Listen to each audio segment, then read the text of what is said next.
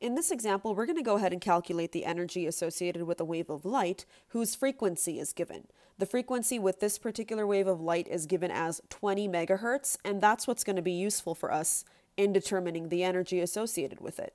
However, as is the case with any situation where you need to find the energy associated with a wave of light or a photon of light, you're going to use E equals hc over lambda. The issue that we run into this time around is that we don't have the wavelength. Instead, what we do have is the frequency. So the frequency is actually given to us, but not the wavelength.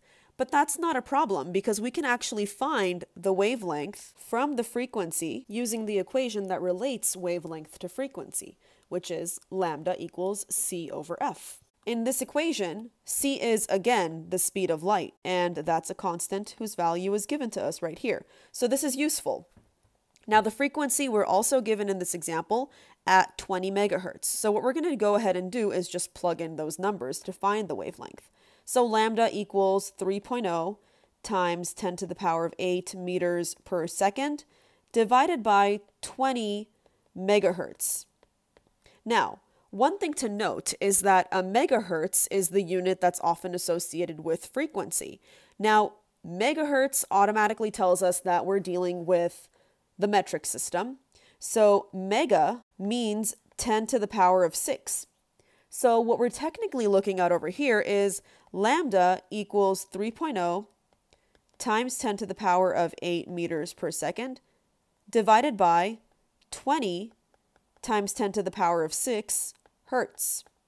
But 1 hertz is also the same thing as 1 per second. Since remember, when we're talking about frequency, we're talking about how often something happens, and it's generally represented as the number of times a thing happens in a given time interval. So it's just per second. So we end up going ahead and replacing hertz down in the denominator here with that unit of per seconds. So now notice that we have per seconds in the numerator, per seconds in the denominator, so those two things will cancel each other out, leaving behind only the units of meters, which are perfect because wavelength should generally have units of distance since it is the distance between the two crests of a wave. So now let's go ahead and figure out what is the wavelength associated with this particular wave. So lambda equals 3 times 10 to the power of 8 meters. Now we're just dividing by 20 times 10 to the power of 6. So when we actually divide 3 times 10 to the power of 8 by 20 times 10 to the power of 6, we get 15 meters. So 15 meters is actually what we're going to use as lambda when we're dealing with E equals hc over lambda. So now we're going to go back in and say, okay, well, we have an equation E equals hc over lambda, and that's going to give us the energy associated with this particular wave. So the wavelength here is 15 meters, and the value for hc using the shortcut we got from previous is 1240 eV nanometers. So this is something we can automatically plug in and divide by 15 meters. But now here's the issue we run into. Now we have nanometers at the top of the fraction and meters in the bottom of the fraction. So one way we can go ahead and figure this out is by changing nanometers into meters or meters into nanometers, but we have to convert one or the other into the other unit so that they can cancel out. Otherwise, we're stuck with some sort of an order of magnitude issue, and that's not going to be good. So I'm going to go ahead and switch the nanometer that's in the top of the fraction into its equivalent in meters. So I can literally just swap it out for what it is in meters. So when I do that, I'll go ahead and write that in green so it's easier to see. One nanometer was 10 to the power of negative 9 meters. So this is still getting multiplied. So now I have meters at top and meters at the bottom, so they can cancel out.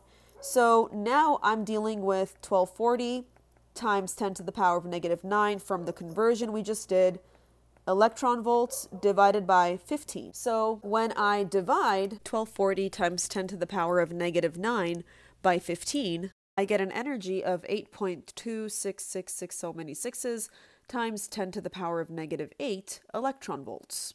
Now I can leave my answer as is as long as I round it off to the correct number of significant figures, or I can switch it over to units of joules. But regardless of whether I'm using electron volts or joules, as long as I've chosen a unit that's used for energy, then it should be good enough.